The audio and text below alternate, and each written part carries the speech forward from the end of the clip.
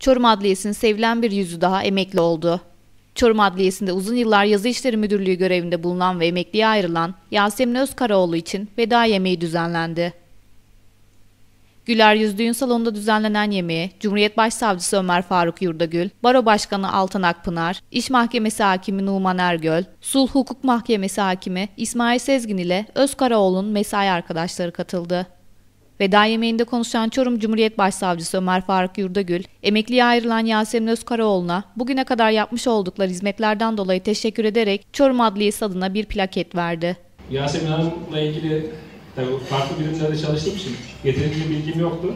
E, mesleki geçmişiyle ilgili. Bir not çıkarttırdım gündüz. Mesleğinde sadece iki yıla yakın, gerçi bir yılmış kendisi düzeltti. Zabıt katipliği yapıp ondan sonra kalan 30 küsür yılı müdür olarak geçirme başarısı e, göstermiş. Ben de kendimi başsavcılık kıdemi olarak toplam kıdemine göre iyi kabul ediyordum ama şimdi biraz sonra onun e, sırlarını öğreneceğiz kendisinden. Nasıl o kadar e, o görevi yapabilmiş. Tabii adliye personel olarak çalışmak gerçekten zor iş. Müdür olarak çalışmak bir kat daha zor iş. E, çünkü erkekler askerlik yapanlar bilir. Yaz işleri müdürü askerlikteki askerlerin pozisyonundadır. Üstte hakim, e, aşağıda e, katipler. Hakikaten zor zor iştir. E, çok sayıda amirde çalışırsın.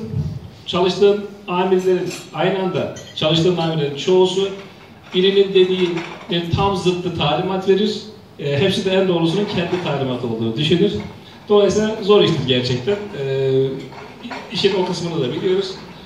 E, Yasemin Hanım'la gerçekten başarıyla güzel, uzunca sayılabilecek meslek yaşantısı bugün noktalıyor. E, henüz torun yok ama inşallah ileride torun bakacak enerjiyi biriktirmek üzere e, hazırlıklara başlayacak.